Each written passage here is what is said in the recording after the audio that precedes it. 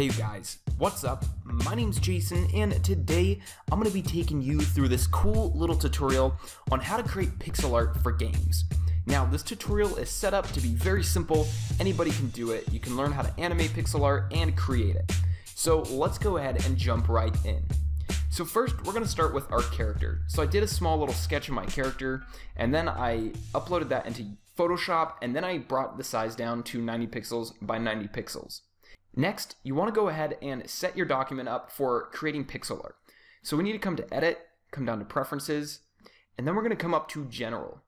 And we want to change our image interpolation from whatever it's set to to nearest neighbor. If you don't do that, you're going to get anti-aliasing and your pixel art is not going to look good. So let's go ahead and hit OK. Then we want to make sure that we're using our pencil tool instead of our brush tool. And then we're going to go ahead and draw with that. So you see here, I have the color pink selected and I just brought my brush size up so I could click a circle right there for the head. Let's go ahead and do the same thing for the body. Except, actually, we need to undo that because we want to make sure we do this on a separate layer from our sketch layer. So we're going to come over here to our layers panel and click the new layer icon and then we'll go ahead and create that circle for the head. And I need to click a little bit harder so I get the full size. Then I'm going to bring my brush size down like so and I'll make the body just like so. And then I'll make the other half like so. And I got one sticking out right over here, so I'm just going to go ahead and use my eraser. And I also want to make sure that my eraser is set to pencil. So right now it's set to brush. I'm going to go ahead and change that to pencil. And then I'm going to go ahead and go in there and erase those two little squares away, like so. Next, let's go ahead and add in the legs. So I'm going to switch back over to my pencil tool, and I'll bring my brush size down. And I'll just go ahead and quickly draw those in like so. And I'm holding down shift to get a perfectly straight line. Then I'll go ahead and do the same for the other side.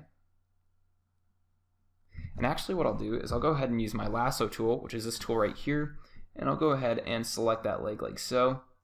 And then using the grab and move tool and holding down Alt on my keyboard, I can go ahead and drag that leg over so I get an exact replica of it. And I'll drop it right about there. Hit enter. And then we need to fill in that small little gap right there. Using my brush tool, I'll fill that in like so and I accidentally got a little bit of an area that I didn't want, so I'm going to go ahead and erase that away. Perfect. And one leg is actually longer than the other, so what I need to do is I need to go ahead and select this leg, and I need to move it up. There we go. So now they're on the same level. Great. Next, I need to go ahead and add in the antennas on my character. I really like adding antennas to my characters. They're just kind of my signature thing, and I, I like them. So I'm going to go ahead and use my brush tool, I'm going to bring it all the way down to one pixel and I'm going to go ahead and draw that in. So I'm just going to draw in a line like so and then I'll go ahead and add in some thicker detail up here towards the top in the antenna like so. And I'm not getting enough of a round curve so I'm going to go ahead and undo a couple of those brush brush moves I just did and I want to bring that down a little bit lower like so. And then what I can do is I can go ahead and turn off my background drawing and then I'm going to add a layer behind that and fill it in with a dark gray color. This way I can see the shape of my character and I can go ahead and work with it. So I'm going to go ahead and zoom in there and using my erase tool, I'm going to start taking away whatever I don't want. And I think that looks about good. It all looks about even. So we have 2, 2, 2, 2, 2, 1, and then that that's because that's where it transitions to 2 going horizontally. So you just want to make sure that everything is nice and even so it looks nice and smooth. I also want to make sure that I move my head over just a tiny bit. So I'm going to go ahead and use my marquee tool and make sure I'm on a rectangular marquee tool. And I can go ahead and select my whole head right down to the bottom like so. And I'm going to nudge that over so it's right in the center of my neck. Perfect.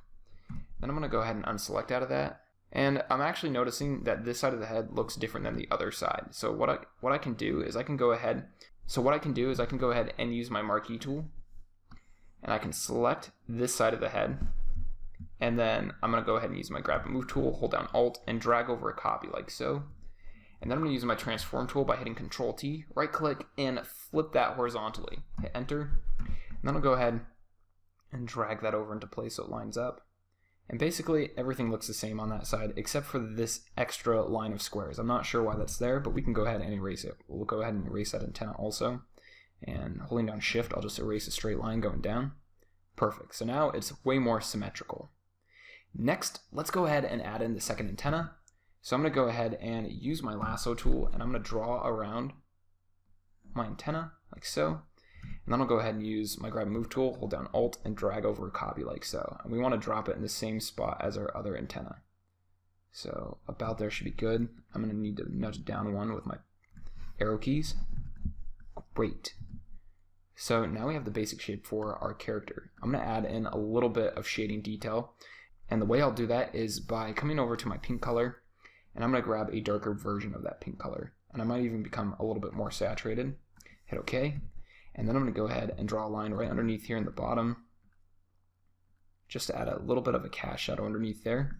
And I might even add some on my two legs, so like so.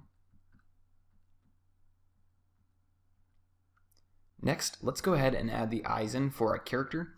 So I'm going to go ahead and select my pink color, and the eyes are just going to be a very, very dark reddish pink color. So we'll come down into there, hit OK, and then I'm going to go ahead and draw my first eye in. I'm going to bring my brush size up like so.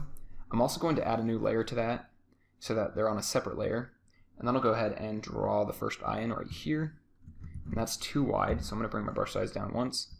And I'll draw a line like so.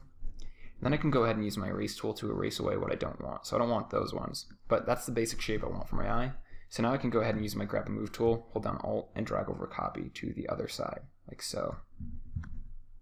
All right, perfect. So now we have the basic character.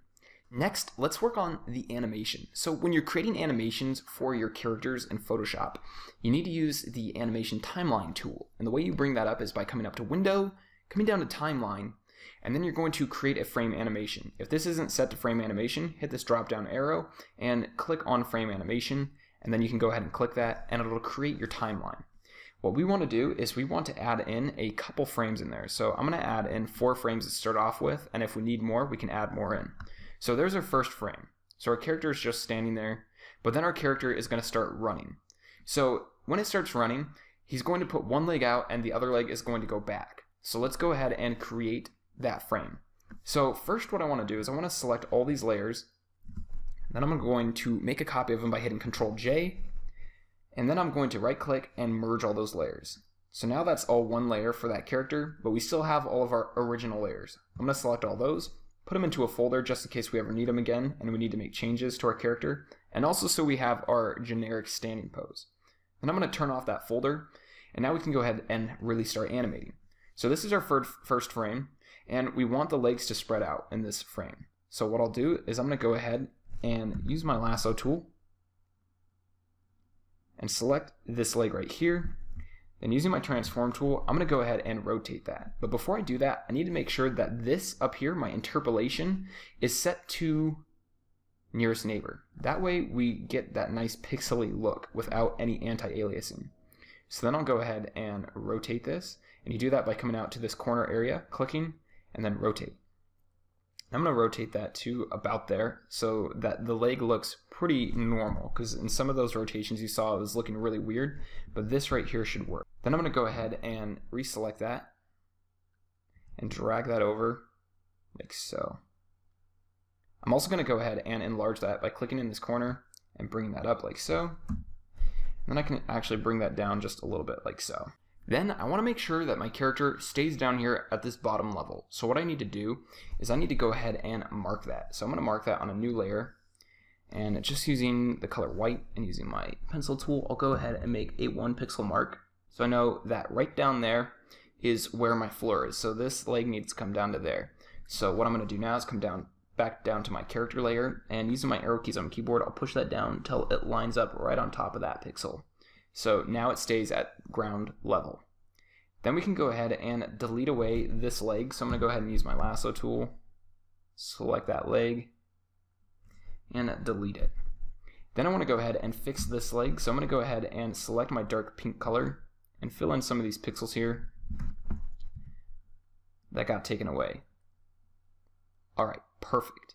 I'm also going to use my eraser to take a few pixels away on this side. And then I'm going to go ahead and use my pencil tool to add in a few pixels on that side. Then I'm going to go ahead and use my lasso tool to select this leg, and I can even select part of the body. Then I'm to go ahead and drag a copy over, like so. Then I'm to turn on my transform tool, right click, and come up to flip horizontal. Then I'll go ahead and hit enter, and then I can go ahead and drag that into place, and we want it to line up in the same spot on that side. So I think right about there is good. Go ahead and unselect out of that. Next, we want to animate these antennas. So they need to go back and a little bit down. So what we'll do is we're going to go ahead and use our lasso tool to select them. And then I'm just going to go ahead and drag them down like so. And I'm also going to rotate them a bit like this. Then I'll hit enter. Then I need to go ahead and clean these up a bit. So I'm going to go ahead and select my pink color. I'm going to go ahead and redraw some of this in like so. And because this is going to be in motion, each frame does not have to be absolutely perfect. It's better if it is, but it doesn't have to be absolutely perfect. It's going to be showing these frames so fast that you're almost not even going to see them. So something like so should work. And like I said, if you want, you can take the time to make sure that these are all evenly spaced out and look good. So now let's go ahead and move on to our next frame. So in our next frame, our character is going to come back to standing pose, except the antennas are still going to be flying back. So let's go ahead and come down to our group folder, and then we're going to go ahead and make a copy of that folder, drag it up here to the top like so, and then we can turn that on, and we can turn this back layer off. And then let's open that copied folder, and we're going to select all these layers and merge them together, and we can actually merge it with the folder, so that way it's its own layer. So now it's going to go from that frame back to this frame, except we need to take the antennas and change them. So we're going to go ahead and use our lasso tool once again. And we'll go ahead and use the transform tool and rotate those like so.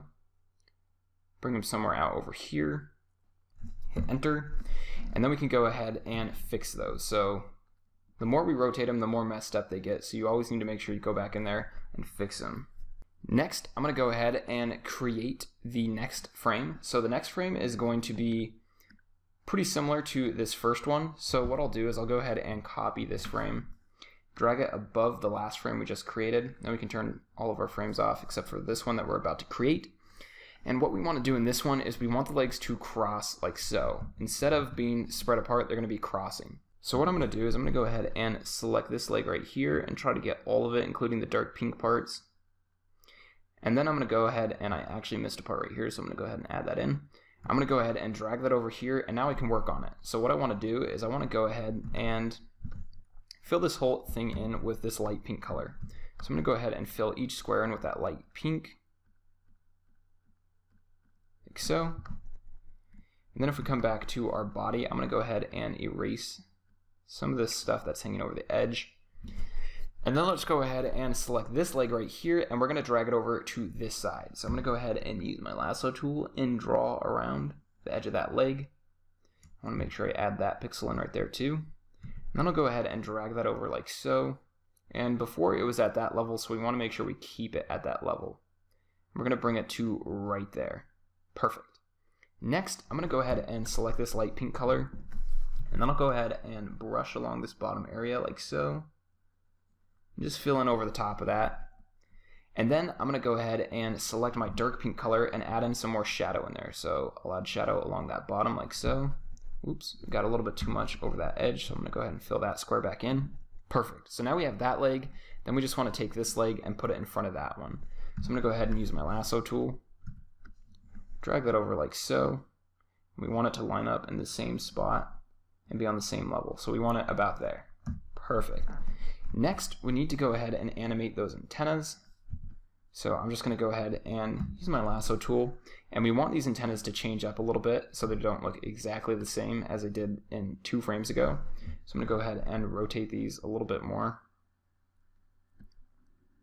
Like so, and bring them right about over here, hit enter. And then using my erase tool, I'm going to go ahead and erase away some of these weird ones that are sticking off the ends and really start shaping those antennas back into place. And now we have the third frame. Now let's go ahead and create our fourth frame. Our fourth frame is very simple. It's just going to be a copy of this frame right here. So I'm going to go ahead and hit Control J to copy that, drag it above all my other frames. And now we have all four of our frames. It's going to loop through all these frames and appear like our character is running. So let's go ahead and give it a shot. So the way we set up our animation in our timeline is we need to start in frame one, and we need to turn off all the layers that we don't want to see on that frame. So whatever is on is what's going to show on that frame. So we want to turn off this frame right here, this one, and we want to turn on this frame 1 layer. Then we're going to come to frame 2 and we need to turn off frame 1 and turn on frame 2. Then we're going to come to frame 3 and we're going to turn on the frame 3 layer and turn off the frame 1 layer. And then we'll do the same thing for the fourth frame. So we'll turn off this frame 1 layer and we'll turn on the fourth frame layer. So now we can go ahead and switch between these and see how that looks. All right, great. So now let's go ahead and watch this and see how it looks when it animates. So I'm going to go ahead and hit play. And now our character is moving too fast and it's not looping. So what we need to do is we need to change this once to forever. And then we need to click all the way across our characters and select all the layers. And where it says 0 seconds, we need to change that to 0.1 seconds. So it'll play a little bit slower. Then let's hit play, see how that looks. All right, cool. So it's not exactly perfect, and you can spend a lot more time, especially with the antennas, but it definitely looks like our character is running, and it'll do for our game. Now, let's go ahead and create our background for our character. All right, so I've created a new document that's 500 pixels by 282 pixels. What we want to do is we want to start creating our background layer by layer. So we're going to start with the background part of our layer. So the background is going to be some woods.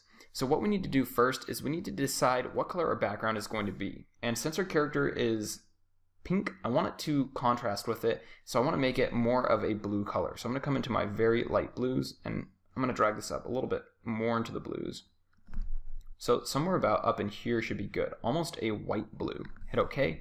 Then using my fill tool, I'm going to go ahead and fill that in. So there's my background color.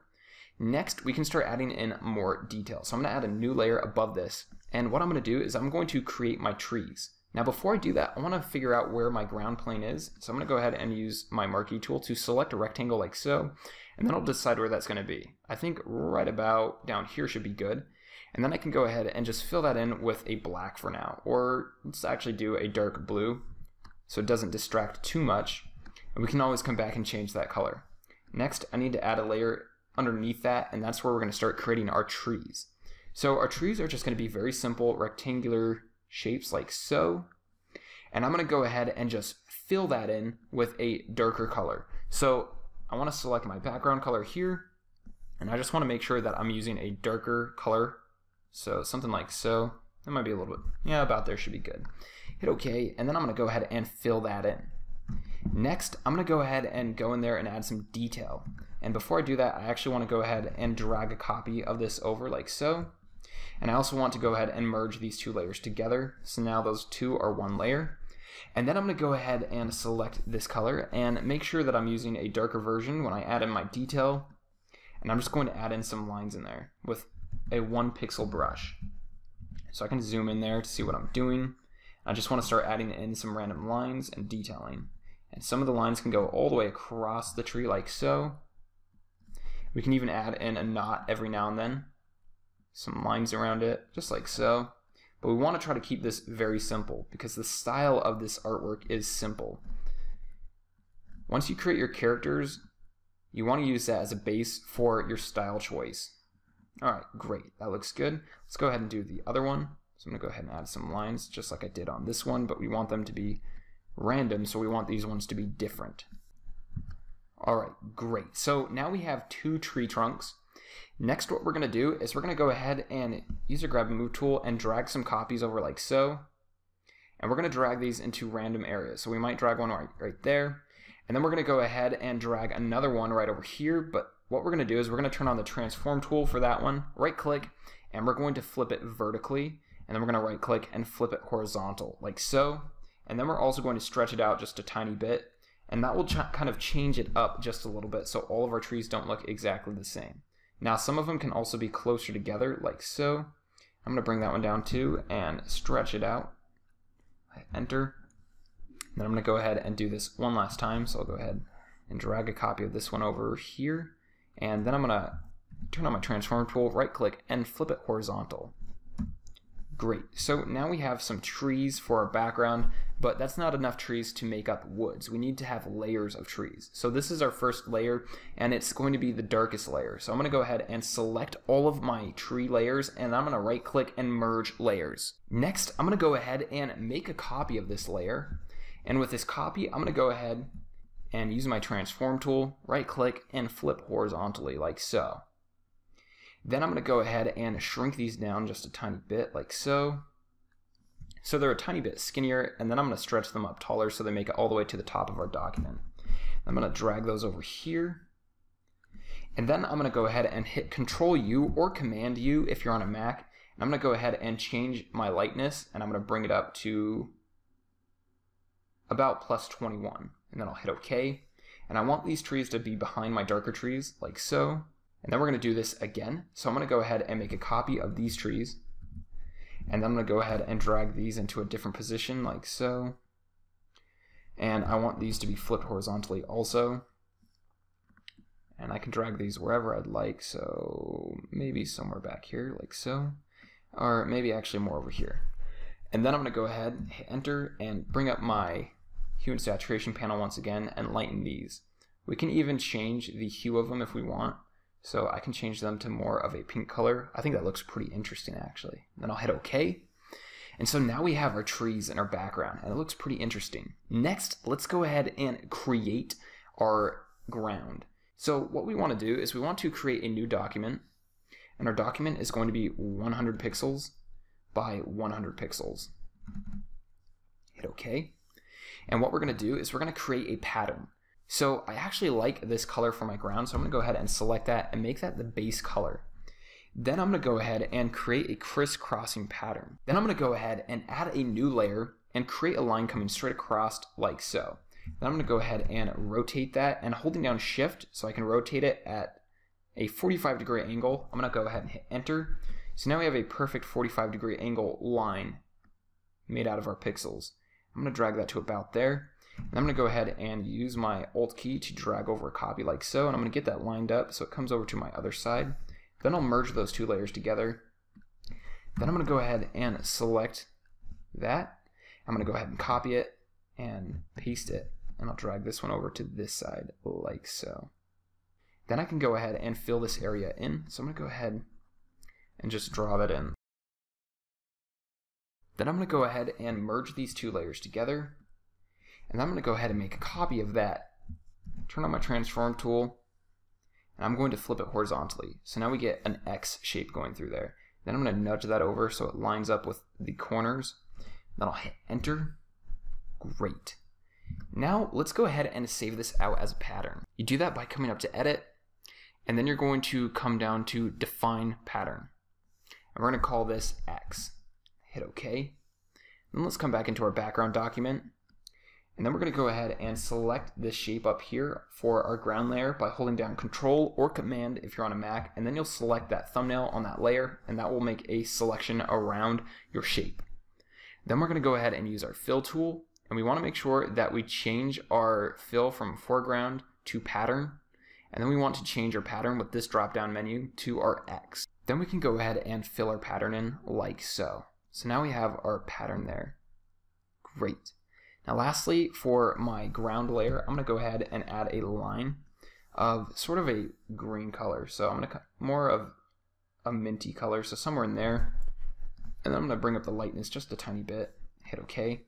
I'm going to put a brush line right across this top area. It's going to be pretty thick, so about that thick, like so. So now we have our ground level.